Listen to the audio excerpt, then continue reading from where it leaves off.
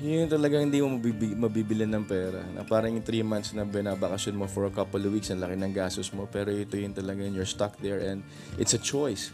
Na makita mo gumigising ang nanay mo, kasama mo kumain. You, uh, yung memories na pwede niyong dalhin, you know, through the years. Ang sarap, you know, kahit matanda na ako, my sisters, my siblings would come once in a while. And uh, we really make, made sure na alam ni mami nandun kami for her.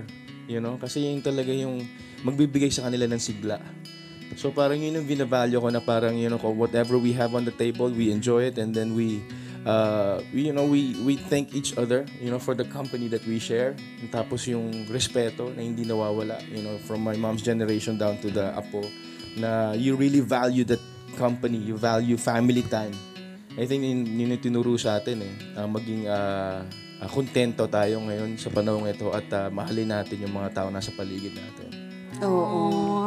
Etong pagiging kontento, kasi lagi naman pinapaalala sa atin ng mga magulang natin to. Pero minsan, kinakailangan mong ma-experience para talagang ma- maniwala kang kailangan nating makontento. Yes. 'Di ba? At bumalik tayo sa simplicity ng buhay, 'di ba? So gaano naman kahalaga itong experience na ito para sa iyo? Sobra na parang you know, you get to see everything uh, blossom. Yung pagising mo pa lang meron na nagpapanik ng fresh catch, may may isda, may bartering. Ang sarap naman, Kung anong pwede mo ipagpalit, minsan umihi kami ng puno, kapalit ng ano, ng uh, Buhay ibang- probinsya talaga. Buhay probinsya, grabe. sarap. Napaka- At saka bumalik, Alam no, mo, kung nagka, kung binigyan lang tayo ng mahaba-habang preparasyon, tapos biglang for, for the lockdown, malamang nagsiuwi tayo Sa like sa mga probinsya, sa probinsya natin. Hindi, kasi makikita mo talaga yung kanya-kanyang ah, property, pero kanya-kanyang tanim ng ah, ano, kakainin, kanya-kanyang ah, farming, kanya-kanyang kambing,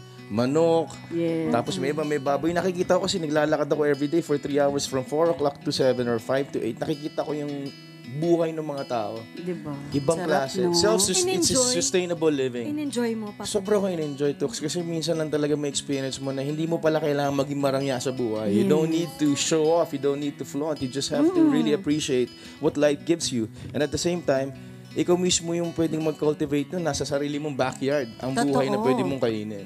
Kasi wag na, kahit nasabihin natin, wala naman kasi kaming lupang kasing laki mo. Kahit Sa bahay kahit mo, ay 20 sa paso. square meters Yeah. lang Oo. yan. Yeah. Mabubuhay ka dahil hindi mo naman uubusin yung ulam na yun na ganong kalaki, diba? Makatanim ka ng kahit anong halaman yan. At saka yung moment ba na talagang na-realize mo yung life nila, masaya sila, kontento sila. Bakit ikaw? Bakit hindi ka din makontento sa buhay mo? Maging happy ka din, di ba? Exactly. I love that life. Can I join with you? Tayo na't magkwentuhan